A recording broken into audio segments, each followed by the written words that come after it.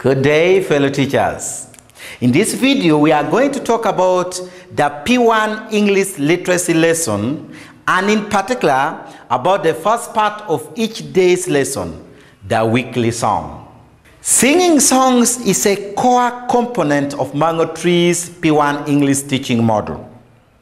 Singing allows learners to practice their vocabulary and pronunciation in an active participatory learning environment.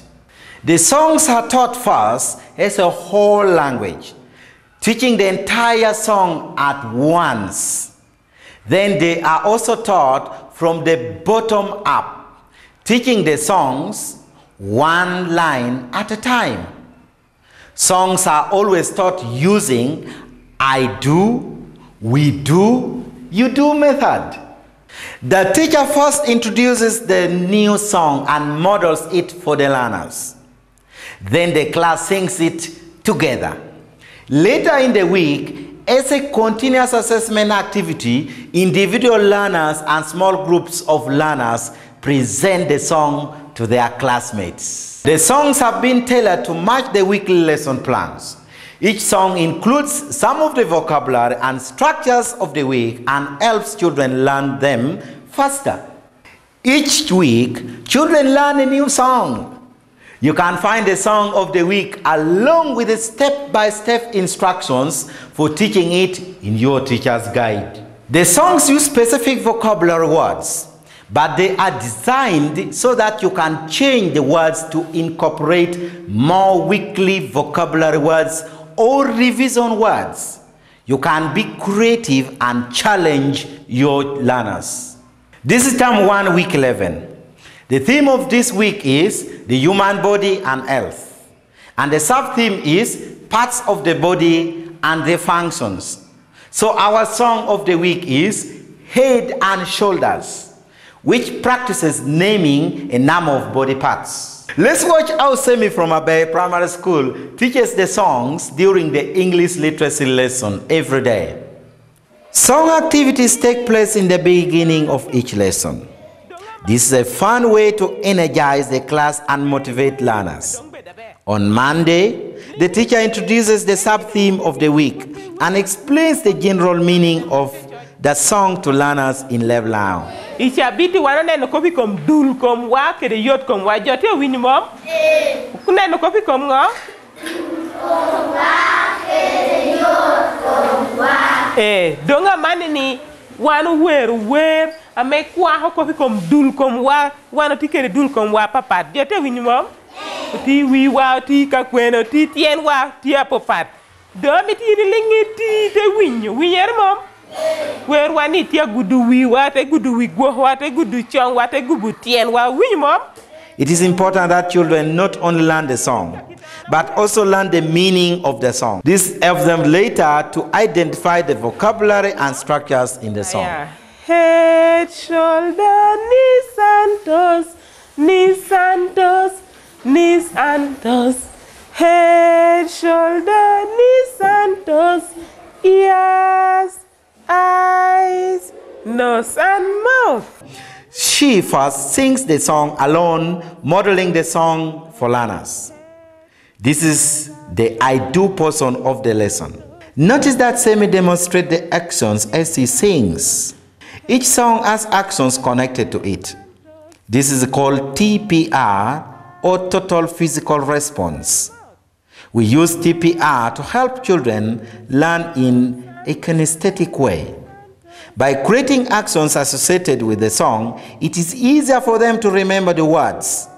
It also draws their attention to the vocabulary words. Well, it's important to mime the action in the songs to the learners. One, because it helps the learners to know what the song is all about. Two, it also helps to actively, in, actively involve the learners into learning that song. Another one also helps also the learners to easily identify the, the, the, vocabularies that are in the song. For example, maybe when a song is maybe talking about some action like driving, as to mime, just automatic, it, it automatically goes into the brain of the learners that, it, oh, this one is driving, this one is riding. So miming is very important. o jok that yu yu were eh aya cho do win kitana wer kede ina i wer kitana wer kede cho li win head shoulder knees and toes aya Songs are taught using a rod, repetitive method. This means that each song is learned in the same way. Pupils always learn by repeat after me, singing after the teacher line by line.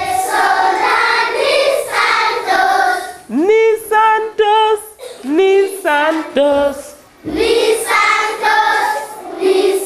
toes Ogwal- And that song helps me as a teacher now to gradually introduce the sub theme to the learners. Later also will help me to introduce the vocabularies, the structures, and all those competences needed. The young learners, they, they, they, they, they naturally like songs. So anything that they learn in, in, the, in the song form is actually very fun for them. That is why I was saying it's very good because they will be learning and as well be just playing with their learning. So it makes that learning very real for them and they also learn, they own that learning because they are singing, not knowing that they are also learning. So when it now comes to the actual teaching, you now just you just do a bit of guiding because they, they shall have already learned all the, those key information you want to teach through the songs, the vocabularies, the structures.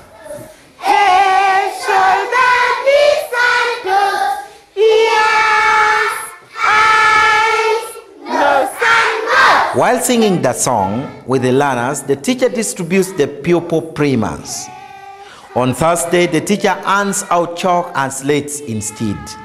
Head, shoulder, knees and toes, knees and toes, knees and toes. As the week progresses, learners stop repeating after the teacher and start singing with the teacher.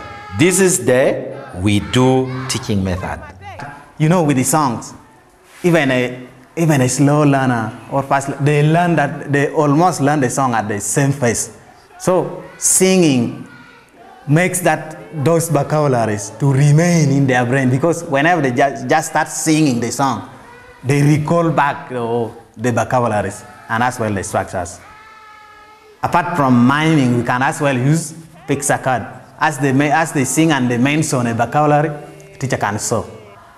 Like that, you can see how we incorporate the song, the picture cards, and the, the, the actions together to make learners fully learn the vocabularies and structures we want in that uh, week.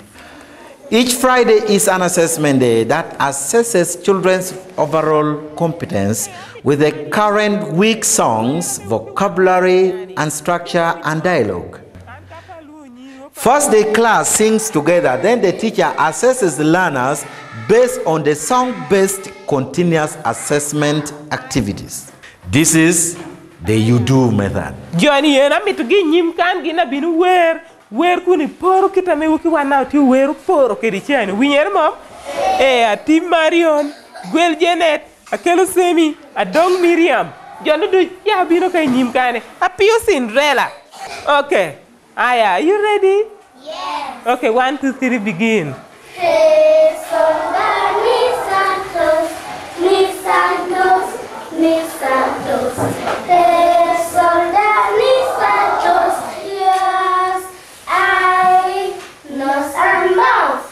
This week, the assessment activity calls for pairs or small groups to sing each verse of the song and mime the actions. This week, SEMI uses a continuous assessment monitoring form to make note of whether or not learners are able to complete the activity correctly.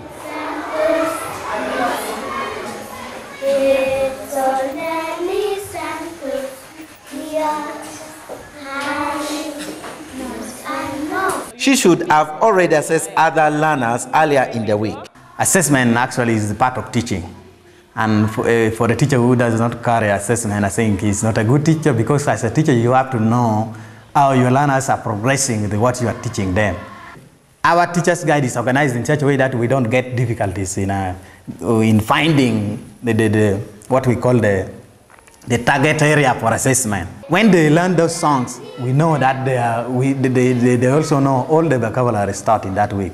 So the best way we do to assess the learners, the learner's competence in singing is uh, one, I can ask a group of learners now to go in front of the class to sing the entire song to the rest of the learners as the rest of the learners listen. I just go to my camp form and continuous assessment monitoring form. I record according to the, the child's ability. As they sing, I shall be observing at the one, the way they are uh, miming the song. If it is matching with the, what they are also singing, I also look at their confidence also look at their confidence, the way they are singing, and their fluency, the pronunciation, the pronunciations in, uh, in the song. All those are the areas I consider when I'm assessing the learners. Term 1 focuses on teaching learners simple one verse songs which incorporate the vocabulary and structures of the week. The song is introduced on Monday, and by Friday, learners are expected to be able to sing alone. In term 2, learners are taught two verse songs. During term 2, each day of the week, the teacher focuses on different verses to practice the vocabulary and structures. In the teacher's guide, you will find a breakdown of how to teach each specific song. Cold, it's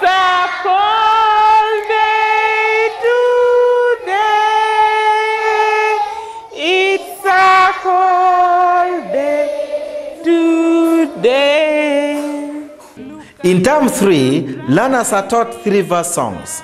During term 3, each day of the week, the teacher focuses on different verses to practice the vocabulary and structures.